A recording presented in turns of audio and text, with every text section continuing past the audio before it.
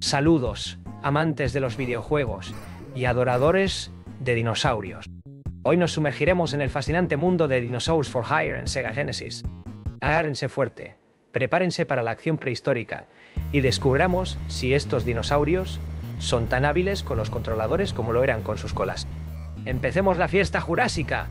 Las adaptaciones de videojuegos de cómics han sido un clásico desde que los juegos existen y seguirán siendo así mientras ambas formas de entretenimiento lo hagan.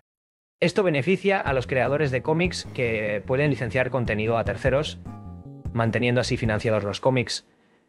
Es bueno para los desarrolladores, que pueden aprovechar material preexistente y sus mercados subsiguientes.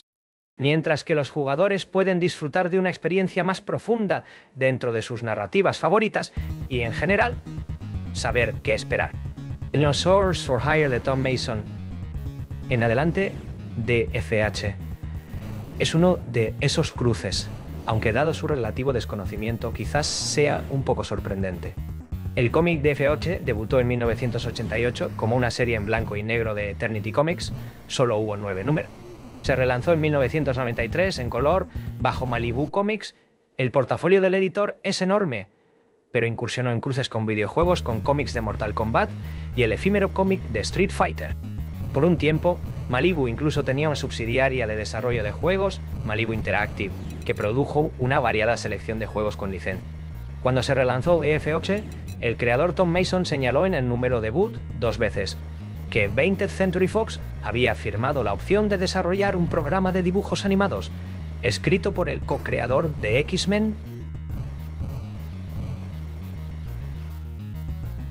Wine mientras que Sega desarrollaría y lanzaría un juego de Genesis en el verano. Marvel compró Malibu en 1993. La renovación de EF8 duró 12 números antes de la cancelación, y solo el juego de Genesis llegó a ver la luz. Es una lástima porque para ser una publicación estadounidense el cómic era brillante, extremadamente atrevido y lleno de mordacidad irónica, acercándolo más al estilo de la revista británica 2000. La portada del número de relanzamiento declara con orgullo. Acción políticamente incorrecta en cada página. Y no decepciona. La primera página del número uno es oro puro, con una mujer sin camisa en tanga de látex y una leyenda que dice que eso no lo encontrarás en los cómics de Marvel.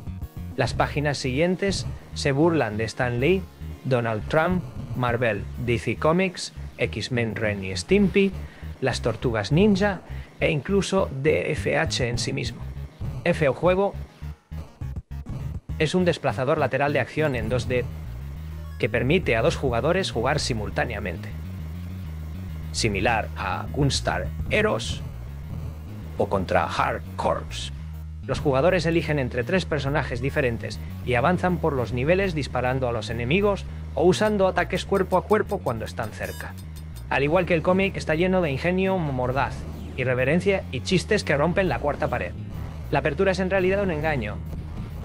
Te arroja directamente a una batalla contra el jefe del nivel 5, un monstruo reptiliano gigante que escala una presa. Es súper fácil y después de derrotarlo aparecen los créditos, momento en el cual aparece el colega pterodáctilo del grupo, Sirano, y explica que la unidad de procesamiento Blast de tu Génesis tiene un error y recién ahora comienza el juego real.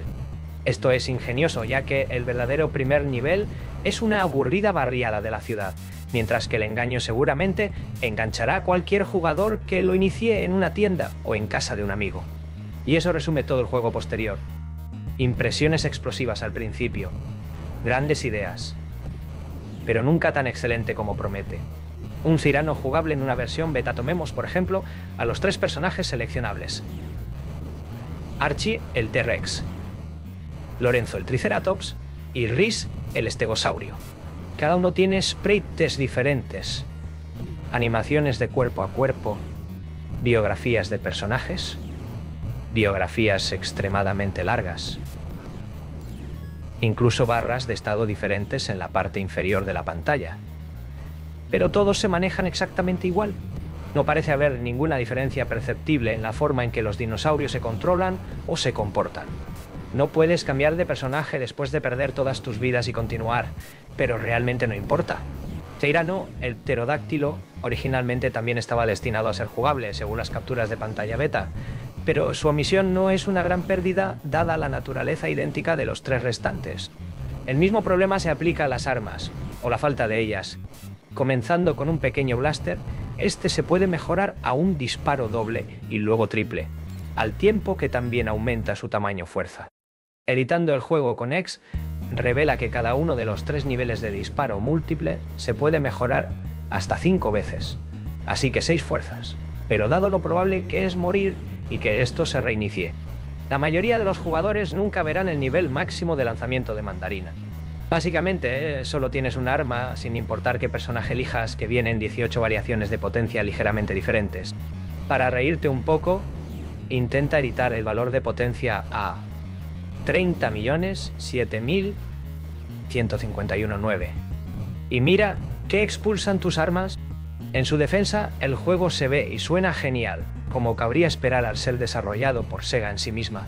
Si alguien conoce el hardware de la Mega Drive Genesis, es la compañía que lo fabricó.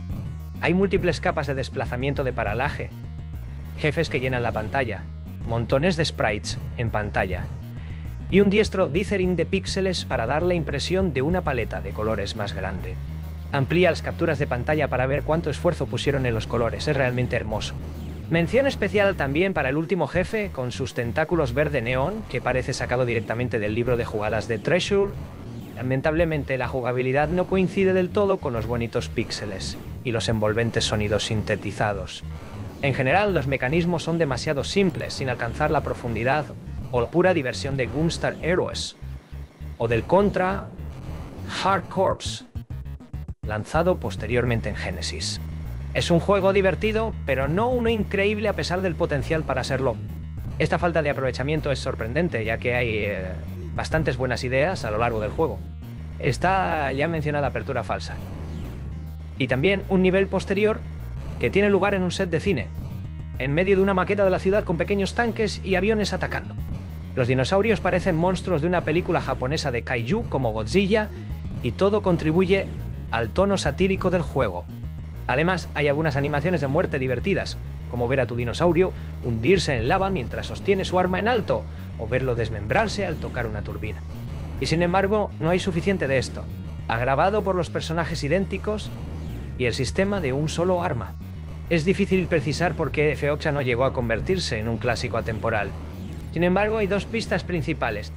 En primer lugar, en el boletín de noticias de Club Malibu de octubre de 1993, se menciona que el juego volvió a desarrollo para asegurarse de que fuera una compra obligada.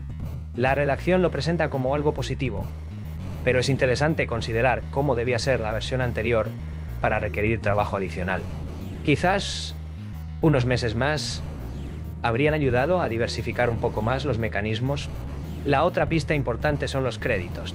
Observa cómo no hay diseñadores en la lista.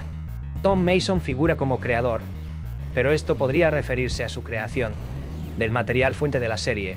Lo más cercano que el juego llega a tener diseñadores de juegos reales es el productor Stuart Osoy y el gerente Mark Nausha. Por otro lado, hay nada menos que siete programadores y seis artistas acreditados. Al final eso es lo que se siente al jugar al juego buenos gráficos, buenos sonidos, tecnológicamente muy competente, pero ligeramente anémico en cuanto a la jugabilidad. También hay algunas extrañas decisiones de diseño, especialmente en cómo funciona el sistema de continuar para dos jugadores. Comparten el suministro, pero ambos jugadores deben morir antes de que uno pueda continuar. Después de lo cual ambos son expulsados al principio del nivel. ¿El juego volvió a desarrollo? Vaya, parece que alguien olvidó poner la pizza en el horno y tuvo que improvisar una excusa. Tom Mason explicó por correo electrónico. El copresidente de Malibu en ese momento era Bob Jacob. Tenía una compañía llamada Acme Interactive que fusionó con Malibu Comics y de ahí surgió Malibu Interactive. Así que había estado haciendo muchos juegos de trabajo por encargo durante años y conocía a todos los jugadores en la industria del juego en ese momento. Sega había obtenido la licencia de Dinosaurs for Hire de mí a través de Malibu para hacer el juego. No recuerdo quién se acercó a quién. El desarrollo fue realizado por un estudio afiliado a Sega que estaba ubicado en Diamond Bar, California. No recuerdo su nombre, pero no eran propiedad de Malibu. Mi papel en el juego fue reunirme con los diseñadores del juego desde el principio, darles un montón de consejos y notas y cosas, y responder a sus preguntas de manera consultiva. No soy un diseñador de juegos y ya estaba ocupado con un trabajo a tiempo completo en el personal de Malibu Comics, así que no había tiempo para dedicar a nada más. Entonces no dejé el diseño real del juego en manos de las personas que realmente sabían lo que estaban haciendo. Todavía es un juego divertido y te divertirás mucho la primera vez que lo juegues, especialmente con un segundo jugador. Pero no justifica repeticiones como otros juegos en el sistema. Parece un juego que quería una secuela más grande y expandida o una actualización moderna. Desafortunadamente no se ha hecho nada con el material fuente en más de 20 años. Sin embargo, en mayo de 2016, como parte de los correos electrónicos iniciales sobre el cómic de Street Fighter de Malibu, Tom Mason anunció que estaba reviviendo la propiedad intelectual y también estaba trabajando en un nuevo proyecto ultra secreto. Las aventuras de Archie, Lorenzo, Rhys y Cyrano tienen mucho potencial y será interesante ver qué sucede. Y ahí lo tienen, queridos espectadores. Hemos surcado los cielos, enfrentado monstruos prehistóricos y reído con el humor mordaz de los dinosaurios. ¿Fue Dinosaurs for Hire una joya oculta o simplemente un viaje nostálgico? Déjenlo en los comentarios. Ha sido un placer guiarlos a través de esta experiencia jurásica. Hasta la próxima jugadores del pasado y del presente. Que los píxeles estén siempre a su favor.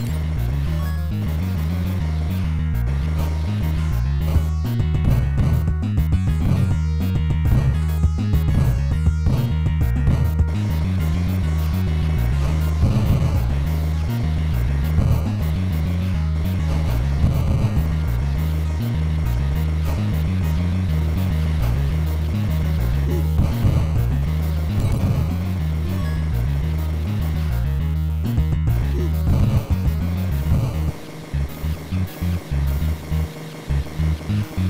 you.